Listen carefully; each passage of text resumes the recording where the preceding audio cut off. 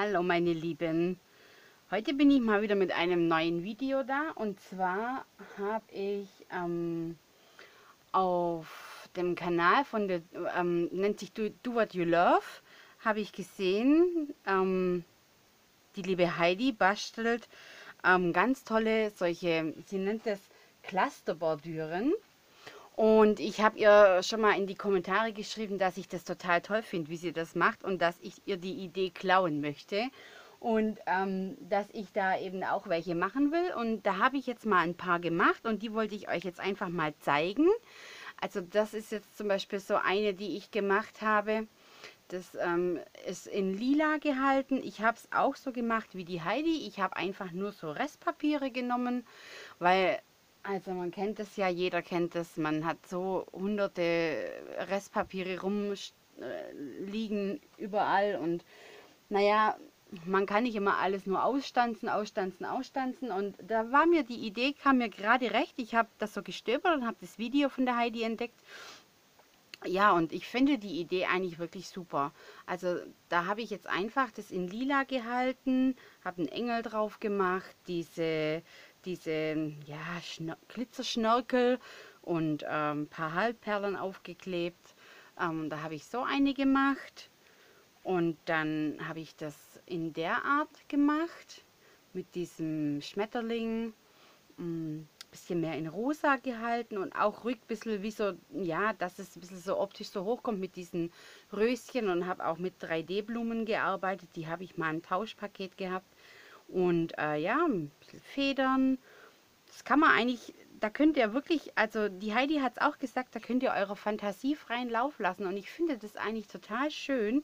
Und ich habe sie auch nicht nur in lang gemacht, sondern ich habe sie mir jetzt auch mal in so einem, ähm, ja, einfach in einem kürzeren und dafür breiteren ähm, Stück gemacht weil ich einfach denke, man hat ja vielleicht auch mal andere Karten oder ich habe jetzt der Nadine äh, von der kreativen Bastelecke, das Video hat sie auch schon hochgeladen, habe ich ein Flipbook gemacht und da habe ich das in der Mitte auf die Hauptseite quasi auch einfach so als Deko draufgeklebt. Das finde ich eigentlich ist eine ganz tolle Sache. Und ja, also da hat mich die Heidi voll inspiriert. ich habe hier voll losgelegt und habe da recht viele gemacht und ähm, habe dann auch mal so eine Karte gemacht so wie ich mir das jetzt zum Beispiel vorstellen könnte. Also ich habe da wirklich nur ein Kartenrolling, die vom Action, die kennt jeder. Und habe da ein, dahinter so ein, so ein ähm, Papier geklebt und habe dann einfach diesen, diesen Cluster, den ich quasi da so gemacht habe, draufgeklebt. Hier kann man noch ein bisschen was schreiben, wenn man es möchte. Man kann aber auch einfach jetzt ein, ein Papier nehmen und ähm, kann dann hier noch äh, einen Spruch drauf stempeln, wie so ein Fähnchen einschneiden oder so. Also da hat man ganz viele Möglichkeiten. Und ich finde, das macht eigentlich so eine Karte gleich richtig schön. Also mir gefällt das sehr, sehr gut. Ähm, ja, ich war ein bisschen im, im, im Fieber und habe hier noch äh, gerade noch zwei gemacht äh, und habe dann jetzt mal versucht, dieses, dieses Vellum Paper mit dazu zu verarbeiten, weil ich habe das zwar mir gekauft, weil ich es eigentlich schön fand, aber naja, ich bin da aber nicht so der Held und äh, ich hatte auch immer ein bisschen Angst, dass man das so durchsieht, aber jetzt habe ich es einfach Klebemaus und drüber und man sieht das eigentlich gar nicht. Ja, die zwei habe ich dann noch gemacht und dann habe ich mir gedacht, ich mache das mal noch in rund da hat es mir jetzt auch sehr gut gefallen. Da muss ich nur aufpassen, da ist eine Rose noch nicht ganz getrocknet. Das habe ich nämlich gerade erst gemacht.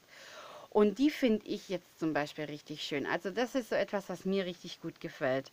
Mit äh, diesem relativ schlichten, aber wenn man da zum Beispiel eine Karte hat und einfach ein, breites Papier und das in der Mitte drauf.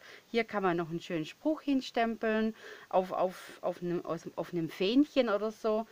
Also ja, das finde ich eigentlich immer ganz hübsch. Also wie gesagt, die sind noch nicht ganz trocken. Das sind so ein bisschen meine Werke, die ich gerade so ein bisschen gewerkelt habe. Und ähm, dann habe ich noch zwei gemacht in grün.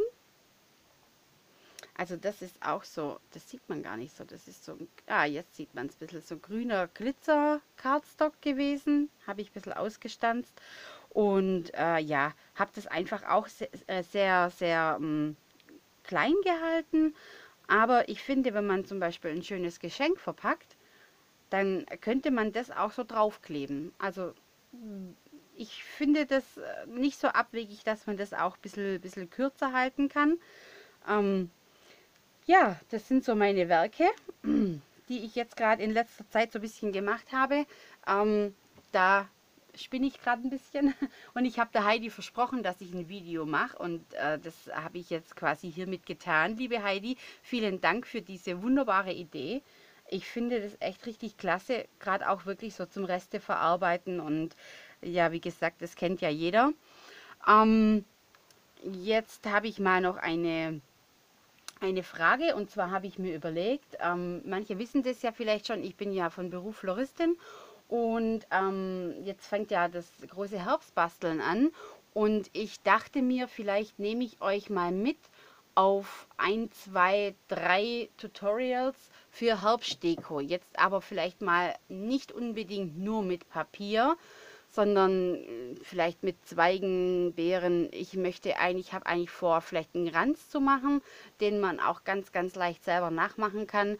Und vielleicht so ein Windlicht, wo man sich hübsch auf den Tisch stellen kann. Hat mit Papierbasteln in dem Fall nichts zu tun, aber Kreativität ist Kreativität, oder nicht? Also ich denke, ähm, Papierbasteln hin oder her aber vielleicht können wir ja mal was anderes zusammen basteln. Also wenn ihr Lust dazu habt, dass ich euch das mal zeige, dann äh, schreibt mir einen Kommentar in die Info, äh, in die unter, schreibt mir einen Kommentar in die Kommentare.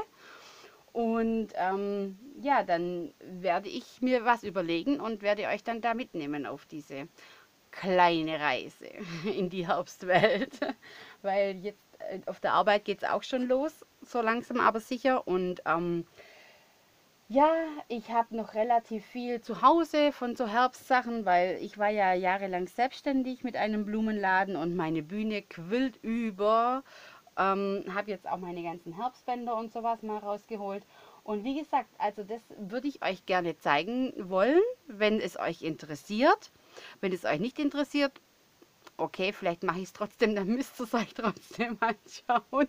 Das weiß ich noch nicht. Aber auf jeden Fall wäre das mal so eine Idee von mir.